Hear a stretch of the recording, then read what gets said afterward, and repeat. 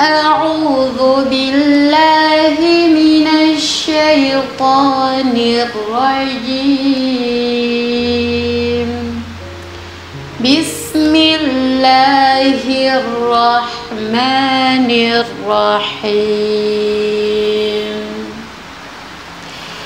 إن في خلق السماوات والأرض واختلاف الليل والنهار. واختلاف الليل والنهار لآيات لأولي الألباب.